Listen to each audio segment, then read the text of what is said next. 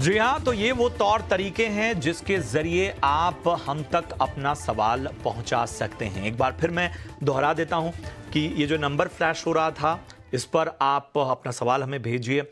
याद रखिए, जब भी अपना सवाल आप पूछिए तो पूरा डिटेल दीजिए आपके पोर्टफोलियो में कौन कौन से फंड हैं, कब से आप निवेश कर रहे हैं, आपका लक्ष्य क्या है?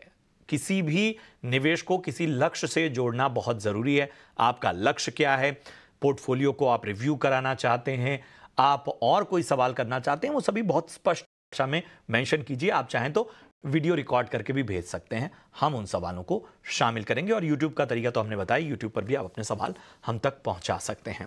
चलिए पहले कॉलर को अपने साथ जोड़ते हैं। हमारे साथ शीतल जी मौजूद हैं। शीतल जी नमस्कार। कहाँ से बात कर रही हैं? नमस्कार। हाँ जी मैं मुंबई से बात कर रही हूँ। जी शीतल। आ, क्या करती हैं शीतल आप? आ, जी मेरा टेलर का काम है। जी। आ, मैं सिलाई करती हूँ। अरे वाह। हमें ये बताइए कि कब से आप इन्वेस्टमेंट कर रही हैं या बचत कर रही हैं? पहले आप किस तरह की बचत किया करती थी? अब किस तरह से बचत आप शुरू कर रही हैं? जी पहले मेरे खाली दो एसआईपी चल रहे थे। वो भी 2018 से। ठीक है। अभी मैंने और 15,000 का निवेश बढ़ाया है। और वो अभी 2021 से कर रही हूँ। अरे वाह। हमें ये बताइए हाँ। कि जो ये बचत आप कर रही हैं इसका किसी गोल से जोड़ा हुआ है? आपका कोई लक्ष्य है? जी वो मुझे एक्चुअली रिटायरमेंट के हिसाब से मैं कर रही हूँ। जी। तो पहले मैं 5000 करती थी फिर बाद में 2021 से मैंने और 15000 उसमें जोड़ दिए हैं। जी। और अभी मैं एक्स्ट्रा उसमें और ऐड करना चाहती हूँ। और टोटल मेरा ट्वेंटी फोर्टी थाउज़ेंड का एसआईपी करना है। तो जो भी मेरा पहले से चल रहा है म्यूचुअल फंड वो आप एक बार पोर्टफोलियो मेरा रिव्यू कीजिए। जी। इसमें से कौन से फंड रखने हैं और कौन से अवॉइड करने हैं वो भी आप मुझे सजेस्ट सजेस्ट कीजिएगा। और फ्यूचर के लिए जो भी फोर्टी थाउज़ेंड मैं और बढ़ाना चाहती हूँ उसमें आप मुझे एस आई पी किस म्यूचुअल फंड में करने हैं वो आप मुझे गाइडलाइन दीजिएगा। ठीक है। मैं फटाफट से ना शीतल फंड्स के नाम ले रहा हूँ। जरा आप बस बताइएगा कि ये सही है क्या? महिंद्रा मेन्यूलाइफ मिड कैप एक हज़ार की एसआईपी है। Motilal Oswal Nifty mid cap 150 index fund में 500 की एसआईपी है। Motilal Oswal Nifty small cap 250 index fund में 500 Mirae asset large and mid cap में 1000 आईसीआईसीआई प्रू टेक्नोलॉजी में 1000 क्वांट इंफ्रा में 1000 क्वांट एक्टिव फंड में 1000 Quant ELSS tax saver fund में 1000 quant mid cap में 1000 क्वांट फ्लेक्सी कैप में 1000 Nippon India large cap में 2500 और डीएसपी मिड कैप में आपका 2500 का निवेश है। सही है? या और टोटल पोर्टफोलियो अभी तक का ट्वेल्व लैक्स का है। ठीक और है। मुझे रिटायरमेंट के लिए अराउंड टू सी आर जोड़ने हैं। ठीक और है वो भी फिफ्टीन इयर्स का ये है मेरा। ठीक है।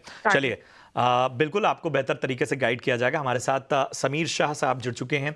हेड हैं ऑनलाइन बिज़नेस के एक्सिस सिक्योरिटी से। आ, समीर जी बहुत बहुत स्वागत। अच्छा लग रहा है आपसे बातचीत करते हुए। आ, शीतल की तमाम डिटेल्स आपके पास हैं ही। और उन्होंने तमाम बातों को बहुत स्पष्ट रूप से आपके सामने रखा। अगर कोई बात छूट गई हो तो आप उनसे पूछ भी सकते हैं क्योंकि वो हमारे साथ फ़ोन लाइन पर बनी हुई हैं। अदरवाइज़ उनके सवालों के उनकी शंकाओं का समाधान कीजिए। शीतल जी आ, पहले तो आ, आप आपको एक चीज़ के लिए बधाई देना चाहूँगा कि आपने बहुत कम इन्वेस्टर ऐसे हैं जो आज की डेट में फ्यूचर प्लानिंग करके अपना इन्वेस्टमेंट स्टार्ट करते हैं। आप वो उनमें से एक हो। अब जब आप इन्वेस्टमेंट स्टार्ट करते हो तो शुरुआत में थोड़े डिसीज़न ऐसे हो जाते हैं जिसको करेक्ट जिसको करेक्ट करने की ज़रूरत पड़ती है ओवर पीरियड ऑफ़ टाइम आपका पोर्टफोलियो हमने एनालिसिस किया, जहाँ पे हमें, हम जहाँ पे हमने देखा कि आपने 12 स्कीम्स में इन्वेस्ट किया हुआ है तो पहला हमारे एंड से सुझाव ये रहेगा कि आप जब भी म्यूचुअल फंड में अपना पोर्टफोलियो बनाए तो ज़्यादा से ज़्यादा सात स्कीम रखें, सात स्कीम से ज़्यादा ना रखें, और जब आप ओवर डाइवर्सिफिकेशन करते हो तो उसका उसका इम्पैक्ट आपके रिटर्न पे ओवरऑल पोर्टफोलियो रिटर्न पे आता है। तो पहला सुझाव हमारे एंड से ये रहेगा कि आप अपने पोर्टफोलियो को बारह स्कीम की बजाय सात स्कीम में लाने की कोशिश करें। अब दूसरा, जब हमने आपका पोर्टफोलियो एनालिसिस किया तो एक चीज़ ये हमारे ध्यान में आई कि आपका लगभग 36 परसेंट का पोर्टफोलियो पर्टिकुलर एक एमसी में इन्वेस्टेड है। तो यहाँ पे भी हमारा सुझाव ऑलवेज ये रहता है कि आप जब भी अपना इन्वेस्टमेंट करते हो तो कोई भी पर्टिकुलर एएमसी में 20 परसेंट से ज़्यादा एक्सपोजर ना ले।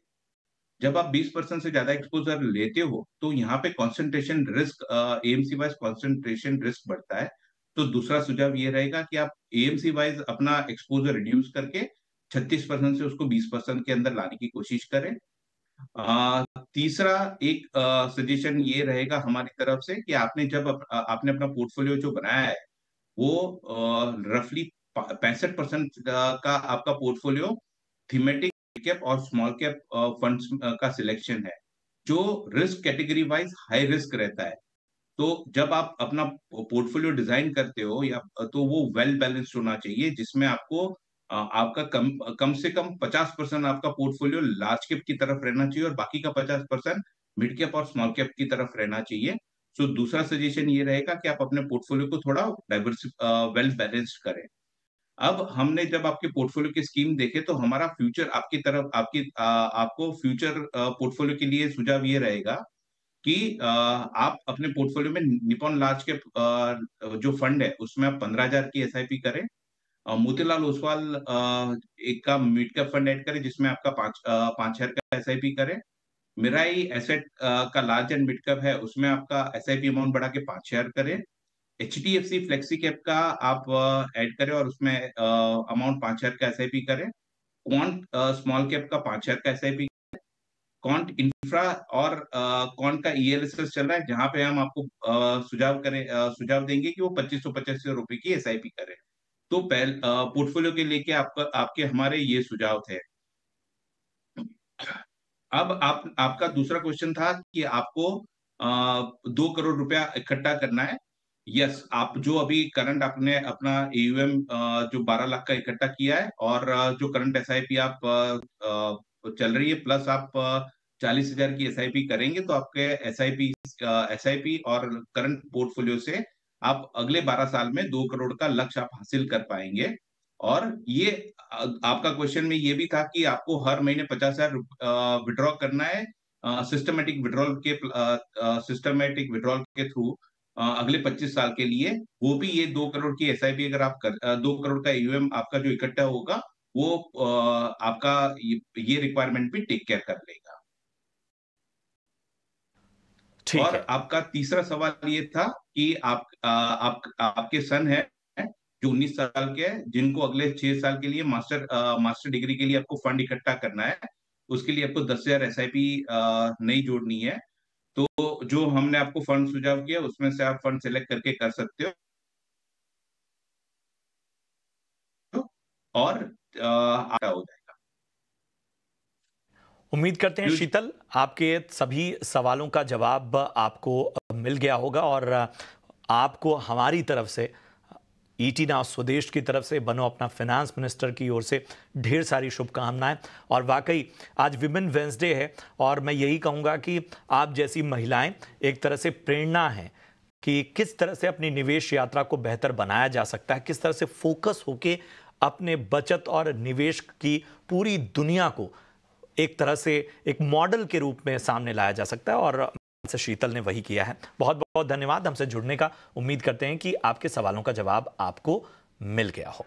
चलिए कुछ और सवालों को भी शामिल करते हैं। हमारे पास मेल के ज़रिए भी कुछ सवाल आए हैं।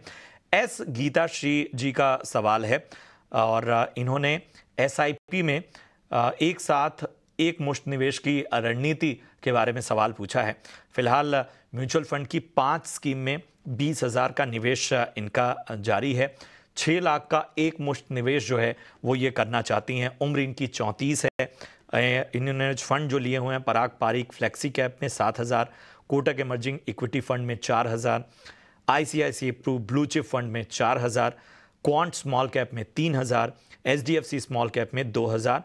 बारह साल का नज़रिया ये लेके चल रही हैं।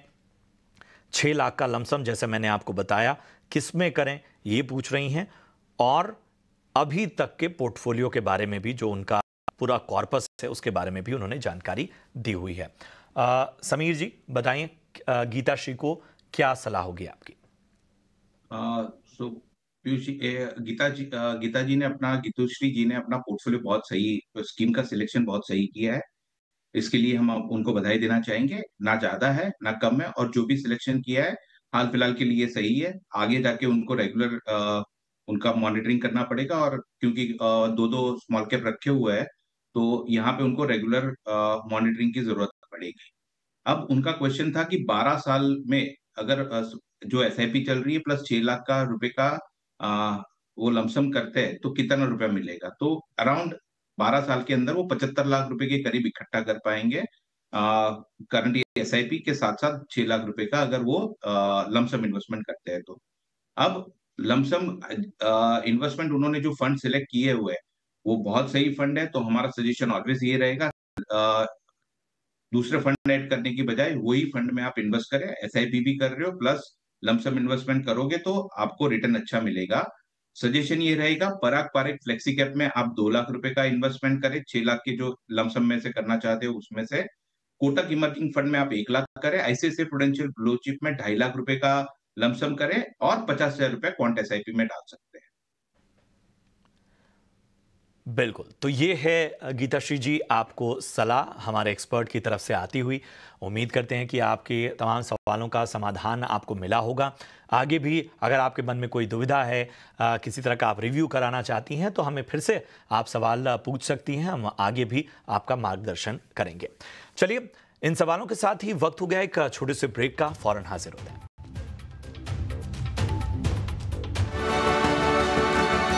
स्वागत है आपका ब्रेक के बाद और आगे बढ़े आपके सवालों की तरफ़। उससे पहले आर्थिक आज़ादी के कुछ मूल मंत्र आपको बताते हैं। मेरी सहयोगी कविता थपलियाल बता रही हैं कि आखिर आर्थिक आज़ादी के ये मंत्र किस तरह से हैं और ये कितने ज़रूरी हैं फाइनेंशियल इंडिपेंडेंस के लिए।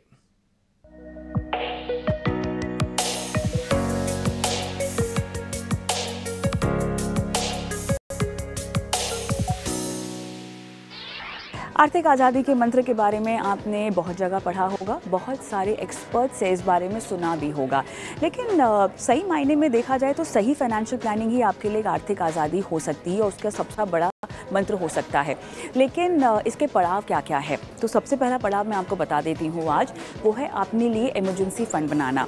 आपकी ज़िंदगी के हर छोटे बड़े लक्ष्य के लिए आप इन्वेस्टमेंट तो करते ही होंगे। आपको अपने रिटायरमेंट के लिए फाइनेंशियल प्लान चाहिए होगा, बच्चों की के लिए चाहिए होगा घर खरीदने के लिए उनकी शादी करने के लिए आपको फाइनेंशियल प्लान चाहिए होगा।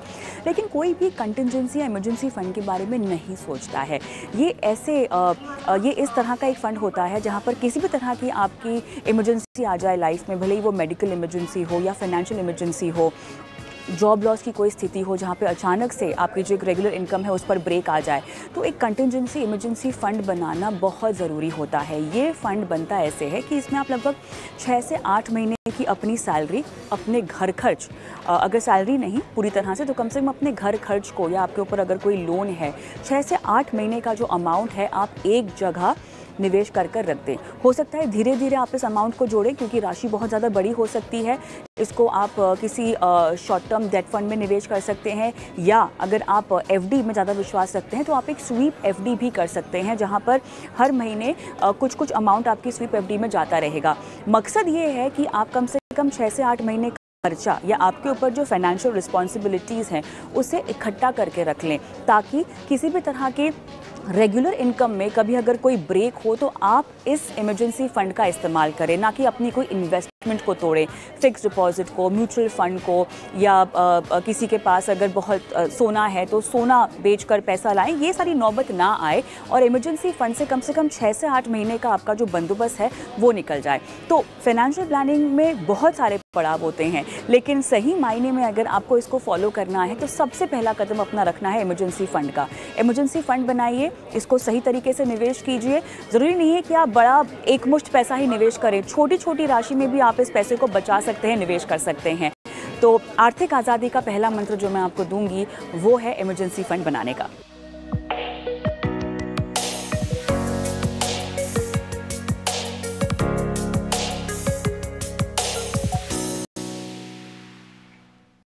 तो ऐसे ही आर्थिक आज़ादी के मंत्र हम वक्त वक्त पर आपके लिए लाते रहेंगे।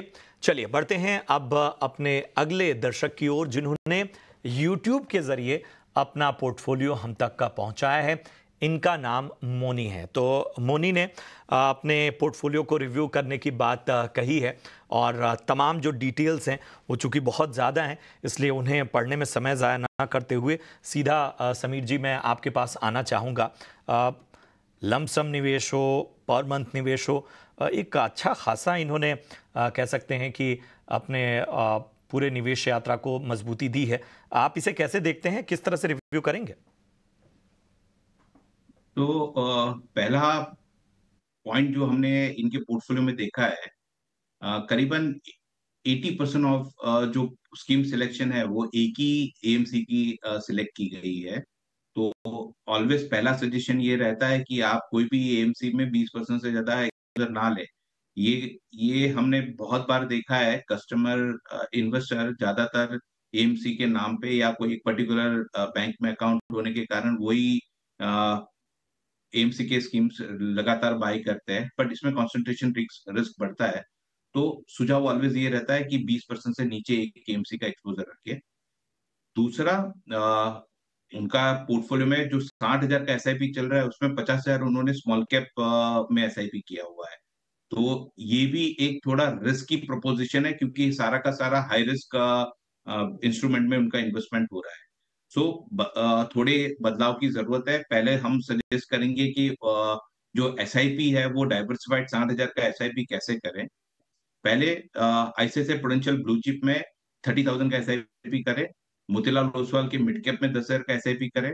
फ्रैंकलिन इंडिया का फ्लेक्सी कैप में दस हज़ार करें और एचडीएफसी के स्मॉल कैप में दस हज़ार करें। ये करके उनका साठ हज़ार का एस का डाइवर्सिफिकेशन करें ताकि पोर्टफोलियो बैलेंस लगे। उसके अलावा ये चार स्कीम के अलावा वो अपने फंड में एच बैलेंस और कौन का large cap large and mid cap fund में जो एग्जिस्टिंग पोर्टफोलियो है, जो सारा का सारा एक एमसी में से है बाकी सारी एमसी में वो डाइवर्सिफाइड करे। तो हमारा ओवरऑल सजेशन ये रहे। तो मोनी जी, उम्मीद करते हैं कि आपके सवालों का जवाब आपको मिला होगा। समीर सर, इसी से जुड़ा हुआ मेरा आपसे सवाल है कि आमतौर पर हम देखते हैं कि एक ही जो है कैटेगरी या एक ही तरह के फंड में जो झुकाव है मतलब ये किस वजह से ख़ास तौर पे आप लोग सलाह देते हैं कि नहीं इस तरह की रणनीति से बचा जाए? तो पहला एक ही टाइप के स्कीम्स सेलेक्ट करने का सबसे बड़ा रीजन है। जैसे आपने देखा होगा, ज़्यादातर इन्वेस्टर आज रिटेल इन्वेस्टर मिड कैप और स्मॉल कैप में ज़्यादा इन्वेस्ट बिकॉज़ जब भी वो स्कीम सिलेक्ट करने जाते तो उनका सबसे पहला पैरामीटर वो जो चेक करते वो past return performance past return और परफॉर्मेंस को ध्यान में रखते हुए स्कीम सिलेक्ट करते हैं। इसके चलते क्या होता है, आप large cap versus small cap का इन्वेस्टमेंट रिटर्न देखेंगे तो ऑलवेज स्मॉल कैप और मिड कैप ने पिछले दो तीन साल में अच्छा परफॉर्म किया है। तो इन्वेस्टर का झुकाव रिटर्न को देखते हुए पर्टिकुलर स्मॉल कैप या मिड कैप में आ, की तरफ़ ज़्यादा हो जाता है। दूसरा जैसे मैंने आपको बताया एक ही एएमसी सिलेक्ट करते हैं। रीजन जैसे आ, नाम आ, कोई एक bank based broker bank based AMC है तो बैंक वो नाम के साथ ट्रस्ट जुड़ा होता है तो उनको लगता है सारे स्कीम में इन्वेस्ट कर देते हैं उनके। उससे उनको ट्रस्ट फैक्टर कवर होता है। बट सारे स्कीम कोई भी एएमसी के अच्छे परफॉर्म नहीं करते हो कर रहे होते because there are multiple factor which are associated with schemes तो ऑलवेज सुझाव ये रहता है कि आप अपना पोर्टफोलियो वेल डाइवर्सिफाइड और वेल डाइवर्सिफाइड रखे, यानी अलग अलग अलग फंड्स में इन्वेस्ट करें और फंड हाउस में भी इन्वेस्ट करें। एक फंड हाउस को ज़्यादा एक्सपोजर ना दे। अगर कल उठ के एक फंड हाउस में कोई भी दिक्कत आती है तो कॉन्सेंट्रेशन रिस्क बढ़ जाता है। ये अवॉइड करने के लिए हम ऑलवेज सुझाव करते हैं आप अलग अलग फंड हाउस सिलेक्ट करें।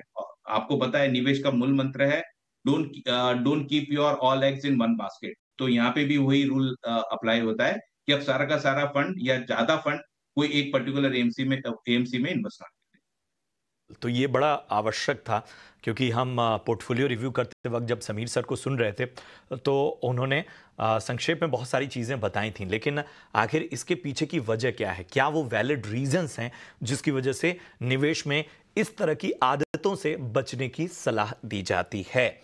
और, जैसा हम देख रहे हैं आप, और शायद आप नोटिस भी कर रहे होंगे कि आज जो हमारे तमाम कॉलर्स हैं, या हमारे जो निवेश यात्रा में जिनके सवाल आ रहे हैं, वो सभी महिलाएँ हैं। और वजह है क्योंकि आज विमेन वेंसडे है। आप भी महिला के तौर पर अपनी निवेश यात्रा याद शुरू कर रही हैं या निवेश यात्रा कर चुकी हैं तो आप हमसे सीधा हमारी इस मुहिम के ज़रिए जुड़ सकती हैं। अपना पोर्टफोलियो आपको रिव्यू कराना है, निवेश को लेकर कोई सवाल है, अगर आपने अब तक निवेश नहीं किया है, आपके मन में कोई दुविधा है, बेसिक से बेसिक सवाल भी आप हमारे इस खास मुहिम में पूछ सकती हैं। तो विमेन वेंसडे में तरीका वही है। आपको व्हाट्सएप नंबर के ज़रिए, यूट्यूब के कमेंट बॉक्स में जाकर आपको अपने सवाल हम तक पहुँचाने हैं। तो इस निवेश यात्रा में आप, हम तक अपने सवाल पहुंचाइए और हम इन सवालों को अपनी चर्चा में शामिल करेंगे। चलिए समीर जी और रश्मि भी हमारे साथ, एक हमारी दर्शक हैं जो कि हमारे साथ जुड़ी हुई हैं। और, रश्मि बताएँ किस अच्छा चलिए चलिए। रश्मि का जो सवाल है, वो फेसबुक के ज़रिए हम तक का पहुँचा है, सोशल मीडिया के ज़रिए। और इस, इनकी पूरी डिटेल्स समीर जी आपके पास होगी। एक बार दोहरा देता हूँ कि एक तो ये म्यूचुअल फंड के 12 स्कीम्स में इन्होंने 40 लाख का लमसम निवेश किया हुआ है, जिसकी मौजूदा वैल्यू 55 लाख तक पहुँच चुकी है। 12 फंड्स रखना कितना सही है? खैर इस सवाल के जवाब हम कई बार दे चुके हैं लेकिन हम दोबारा इसे दोहराएँगे। तमाम डिटेल्स आपके पास हैं ही समीर जी। ज़रा बताइए रश्मि को क्या सलाह होगी? सो so, पहले रश्मि जी का क्वेश्चन लू उससे पहले एक पॉइंट आप जो ये मुहिम कर रहे हो वुमेन्स वेनसडे को लेके उसमें एक पॉइंट अगर आप टाइम परमिट कर रहा है तो मैं बिल्कुल बिल्कुल बिल्कुल। सो so, यहाँ ये हम अच्छा है ये आपका बहुत अच्छा इनिशिएटिव है वुमेन्स वेनसडे को लेके। यहाँ पे मैं एक लाइन ये बोलूँगा कि जैसे हम हर महीने मंथली बजट बनाते हैं एक्सपेंस का। सिमिलरली आप हर महीने एक बजट बनाए इन्वेस्टमेंट का। और ये इन्वेस्टमेंट आप खुद से, आप खुद से सर्च करके इससे आपका कॉन्फिडेंस बढ़ेगा और आप जो भी इन्वेस्टमेंट कर रहे हो, उसके बारे में आपकी अवेयरनेस बहुत अच्छी रहेगी। ये आपको लॉन्ग टर्म में बहुत हेल्प करेगा और आप फाइनेंशियल जो इंडिपेंडेंस की हम बात करते हैं लगातार, वो आप हासिल कर पाओगे। बिल्कुल और ये ये बहुत अहम भी है आ, समीर सर कि आप अगर खुद से इस निवेश के पूरे स्ट्रक्चर को तैयार करने की कोशिश करेंगे। आ, उसमें आपको जो भी समस्याएँ और शंकाएँ होंगी उसमें हम आपके साथ ही बनेंगे। तो ये मत सोचिए कि कोई बहुत बड़ी गलती आपसे हो जा रही है या आप अपनी निवेश यात्रा में कुछ अपने इच्छा शक्ति से या अपनी रिसर्च से कोई चीज़ कर रहे हैं तो उसे सुधारना मुश्किल है। या उसमें सुधार नहीं आ सकता। बड़ा आसान है। तो आज से ही इसकी शुरुआत कीजिए, अगर आपने नहीं की है। जी रश्मि जी का अगर हम सवाल ले पाए हैं तो आप रश्मि जी को सलाह दीजिए। समीर जी। जो पहले जैसे उनके पोर्टफोलियो में बारह स्कीम सिलेक्ट करी है, सजेशन ऑलवेज ये रहता है, मैक्सिमम सात स्कीम रखे सात स्कीम से ज़्यादा इन्वेस्टमेंट ना करे। उससे आपका रिस्क आपका रिटर्न पे इम्पैक्ट आता है। सात स्कीम बहुत है। आज की उनका एक क्वेश्चन ये था कि अभी जो पोर्टफोलियो उन्होंने इकट्ठा किया है, चार से छह साल के अंदर छह साल वो रखना चाहेंगे और उनको एक करोड़ रुपया इकट्ठा करना है। आज की वैल्यू पचपन लाख है। अगर बारह परसेंट अगर आपका पोर्टफोलियो एवरेज रिटर्न जनरेट करता है तो आप आराम से एक करोड़ दस लाख के करीब का फंड इकट्ठा कर पाओगे अगले छह साल में। अब आया अब दूसरा क्वेश्चन उनका ये था कि आईसीए से उनका, उनके पोर्टफोलियो में उन्होंने आईसीए से पोटेंशियल इक्विटी एंड डेट और एच बैलेंस एडवांटेज फंड रखा हुआ है। उनका मान उनका क्वेश्चन ये था कि वो लॉन्ग टर्म इन्वेस्टर है तो क्या बैलेंस डेट और बैलेंस फंड में से निकल के इक्विटी में जाए? तो मैं आपको पहले बता देता हूँ आईसीआईसीआई प्रोडेंशियल का जो इक्विटी एंड डेट फंड आपने सिलेक्ट किया है, वो इक्वली इक्विटी जैसा ही है, क्योंकि उसमें बहत्तर परसेंट इन्वेस्टमेंट उन्होंने इक्विटी में ही किया हुआ है। तो यहाँ पे हमारा सुझाव उसको लिक्विडेट करने का नहीं रहेगा। दूसरा उनका क्वेश्चन था H D F C balance advantage fund जहाँ पे आपका 53 परसेंट जिसमें 53 परसेंट इक्विटी में इन्वेस्टमेंट है। यहाँ पे भी हमारा सजेशन ये रहेगा कि आप इसको लिक्विडेट ना करें, क्योंकि जब आप इन्वेस्टमेंट करते हो, सारा का सारा अगर इक्विटी में करते हो, कल उठ के जब आपका रिडम्शन का टाइम आता है और मार्केट में कोई भी रीजन से अगर वो नीचे जाता है तो आपके पास सेफ्टी का सेफ्टी करने के लिए कोई उपाय नहीं रहता है। तो डेट फंड आपको वो स्टेबिलिटी लाके देता है तो हमारा सजेशन ऑलवेज ये रहेगा कि आप ये फंड को रिडीम ना करें। और जो आपका पोर्टफोलियो है, उसमें सजेशन ये रहेगा, पाँच, छह टॉप परफॉर्मिंग स्कीम छह या सात टॉप परफॉर्मिंग स्कीम में आप बाकी के सारे फंड मर्ज कर दें। तो ये है आपको सलाह, रश्मि जी, और उम्मीद करते हैं कि आपकी शंकाओं का समाधान हो गया होगा। विमेन वेंसडे से जुड़ने के लिए, अपने सवालों को हम तक पहुँचाने के लिए आप सभी निवेशकों का बहुत बहुत शुक्रिया। और खास तौर पे महिला निवेशकों से एक बार फिर आग्रह कि आप अपना सवाल, अपनी शंकाएँ हम तक पहुंचाते रहिए। हम आपकी निवेश यात्रा में आपके मार्गदर्शक बनेंगे। बहरहाल, यहाँ रुकेंगे एक छोटे से ब्रेक के लिए। ब्रेक के उस पार विमेंस वेंसडे में खास सरप्राइज़ आपके लिए एक अलग तरह से हम आपको इंस्पायर करने वाले हैं इन्फॉर्म करने वाले हैं मोटिवेट करने वाले हैं। आप बने रहिए हमारे साथ।